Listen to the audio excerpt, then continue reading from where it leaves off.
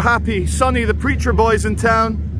He's not the original preacher boy, that was a different thing, but you all call him preacher boy, so he's in town.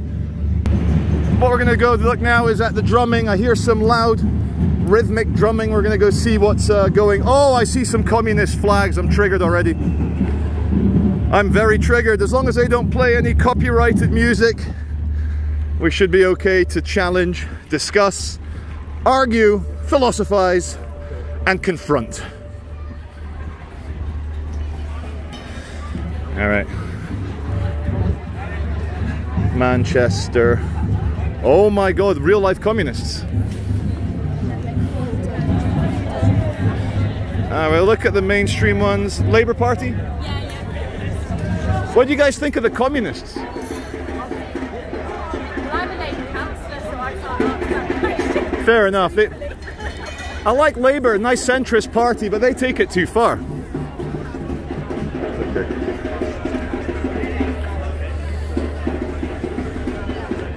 Communists, eh? You must be. This must be ironic. You, you guys are here for like some Halloween cosplay. You're not really flying the. Like you, you're sincere, sincere communists, real ones. Like this is the same flag that they planted over the Berlin Reichstag when they defeated the Nazis. This is. So you guys, I don't, I'm a YouTuber. My name's Charlie. I like. I'll, I'll be polite with you guys, even though I ideologically disagree. No problem. But how do you guys reconcile being communists with the fact that it killed over 100 million people in the 20th century? Well, it's not true. And I'm happy to talk to you about that. It Thank you. true. Yeah. Okay. I'm coming. Speak up as well. Speak up. So what Stalin did does not mean what communists should did. Stalin is the dictator, we go democratically. Okay, because you know, I, I agree with some of the, the theories behind communism. It's very Christian almost. The ideas of communism very Christian. Every man is equal.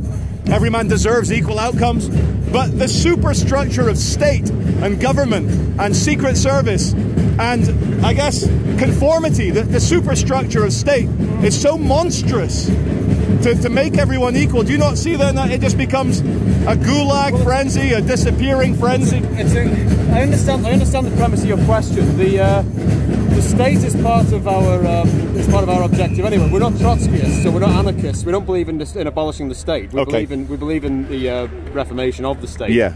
Um, as a proletarian. Yeah. Which is to say, a work. There we go. Yeah, of course. Yeah, yeah, yeah. No. Um, we, we, we want to appropriate the the, Sure. the the means of production, if you like. But here's the thing. I state. no, I agree. In theory, that sounds amazing, but it Well, doesn't realistic. work. Why does it, why has communism never worked? well, Why has it never well, worked? Well, there are well there are five existing uh, Marxist-Leninist uh, countries in the world today. Which And are did- sorry? Name me three uh, of them. Laos, uh, Vietnam, uh, DPRK, Cuba, China. Cuba and China, uh, Cuba, Yeah. China, DPRK, Bad, Laos and Vietnam. They're quite successful nations. Lots of Well, they're all, they're all comparatively successful. They're all under uh, economic embargoes as well, don't forget, which is rarely mentioned when they talk about their economic successes. Yeah. The USSR was a highly um, was a highly successful country.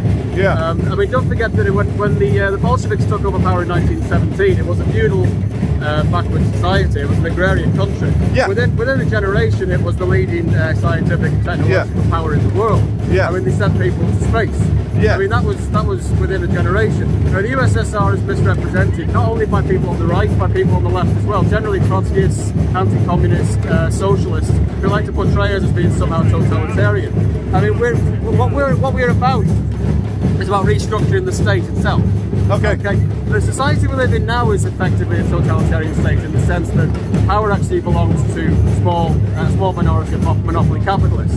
There's no Yeah. real difference to the uh, the idea that um, communist societies are being run by uh, totalitarian bu- bureaucrats. Yeah. There's not much difference to that idea. Okay. What we're saying is that we want to reconfigure power in the name of the working class itself. So the Yeah. working class are in control Yeah. of the means of But- That's the point. But there's more to life than money or being rich or being Yeah. poor or working. What I course. Worry about communists, you've got this lens of production, means of production, Yeah. labor, money. It creates envy, jealousy. Uh, You know, in um, You're describing, Cambodia, you're, you're describing capitalism. in With- with Cambodia money- they money kill people with glasses on. Well, we, we, well, we're not Maoists. I mean, again, this. Uh, Are you Maoist- Potian? No, no, no, of course not. No, you'll actually, if, if you actually read about it, the Vietnamese government actually overthrew uh, the, uh, the, in uh, Cambodia. Yeah. Cambodia was a um, it was a sort of almost like an idea like an idealistically ultra left wing. Um, They took it too Uh, far. Yeah. I'm, I'm trying to think of the right words. It was an ultra. It was basically an, an ultra left wing. Um, Like a, almost like no, a it- well, it was it, it was almost um, what's the Death cult. Death cult. A death cult's a good is a good Killing fields, yeah. you know, just Oh, people yeah, get- absolutely. okay, my- my final- It was overthrown by Marxist Leninists. And can I just say for my viewers, this is a gentleman communist that he's actually debating very politely, very philosophically. yeah. So my final point. Oh God, I've. Oh no no. uh, Oh no, I've lost my fight. This is embarrassing. But Why any final words? And then and think.